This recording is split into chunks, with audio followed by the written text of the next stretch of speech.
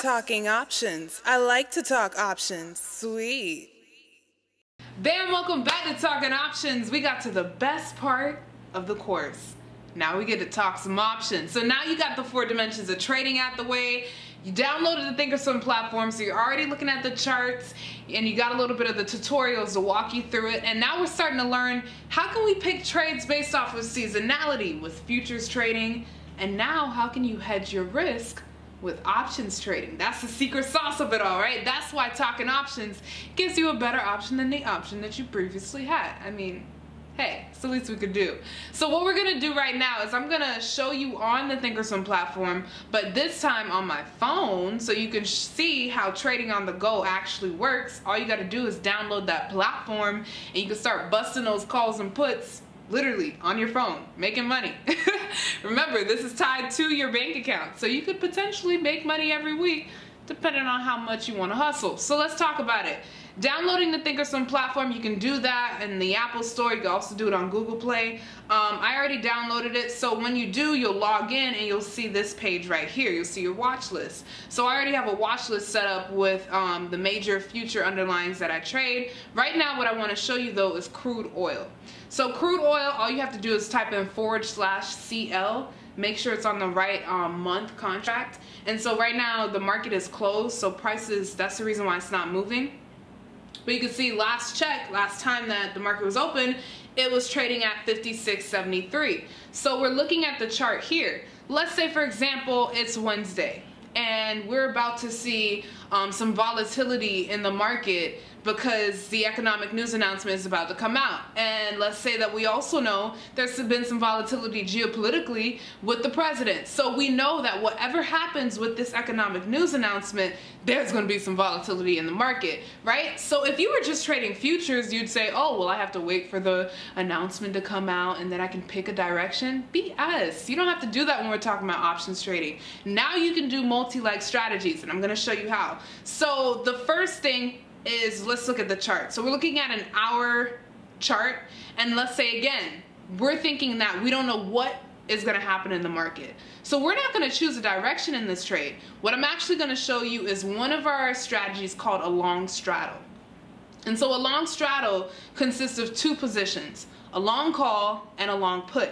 I told you about both of them in the last video. So a long call is bullish and then a long put is bearish. And so you're wondering, how am I gonna make money with this?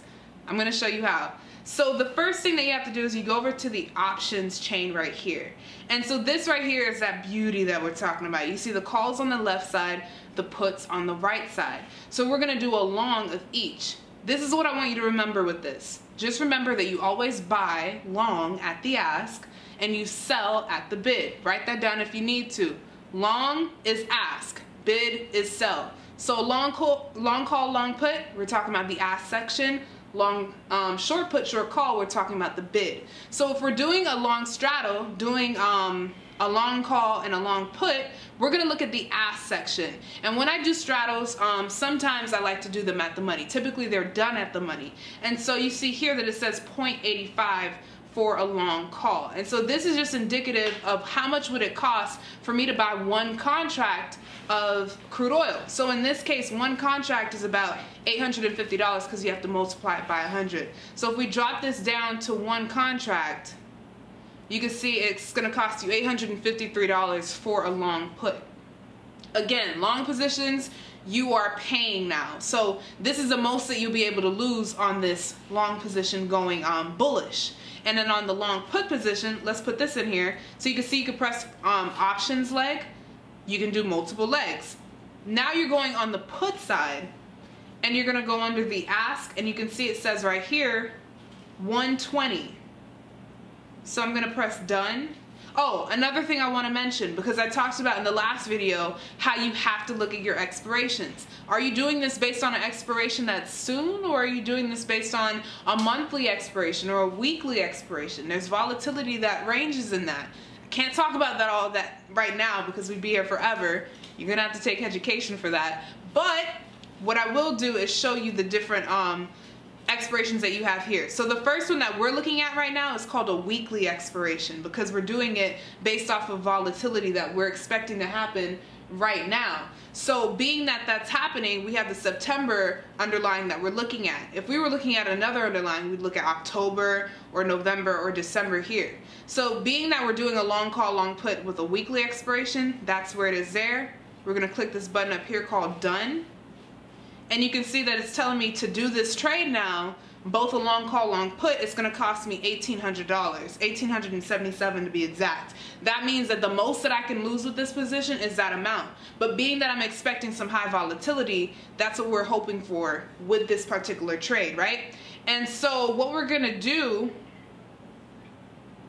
as you can see, all right, so this is what you're looking at right now, just to give you a clear indication, is the order editor or the receipt. So this is telling you about the trade overall.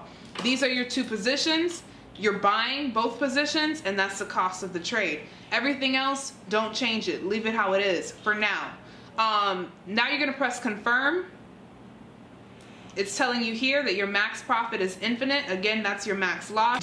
The buying power effect of this was 803. So then we press paper trade. Boom shakalaka, our order is sent.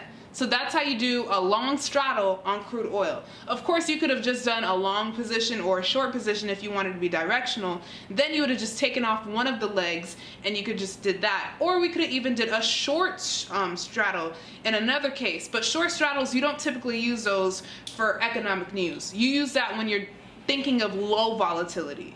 Again, I wish we could talk about all of that in this one video, but this is just the basics of options trading. Of course, I'm gonna have a lot more on our YouTube page, and I'll have more details for you next time. But until next time, make sure you're talking options, guys.